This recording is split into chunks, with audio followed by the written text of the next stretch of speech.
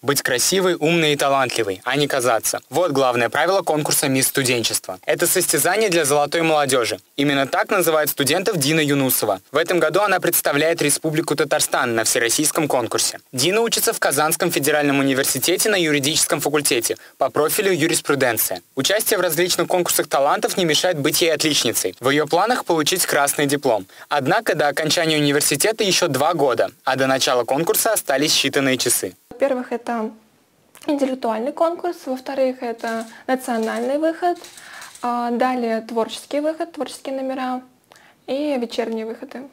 Здесь самое главное, это, конечно же, мозги. Все это про мозги, даже как девушка себя ведет, и про презентации, и про творческий конкурс, про личный бренд, про то, как она думает, мыслит.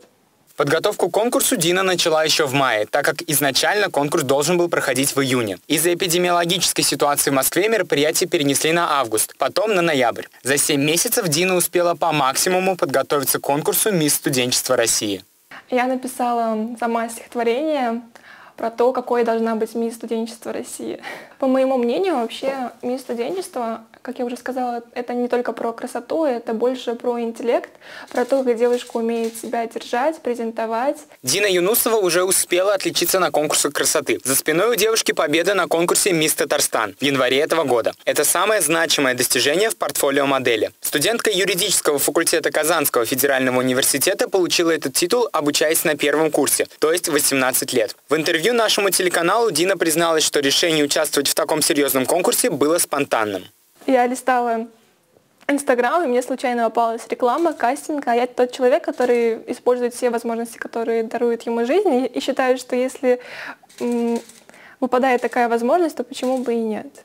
Чтобы завоевать симпатию жюри и зрителей, моделям нужно разбираться в таких сферах, как дефиле, психология общения, стиль, этикет и актерское мастерство. С 16 по 22 ноября конкурс пройдет на территории Московского политеха. 40 девушек будут соревноваться за титул «Мисс студенчества России». Нужно было снять видеовизитку, провести фотосессию, подготовить творческий номер, написать стихотворение. Это тоже не одного часа дела. Его отрепетировать, подготовить самопрезентацию, подготовить наряды тоже для девушек, это очень важно. И вот теперь, наконец-то, завтра вылет на этот конкурс.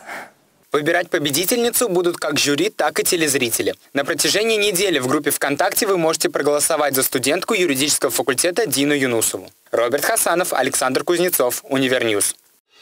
Thank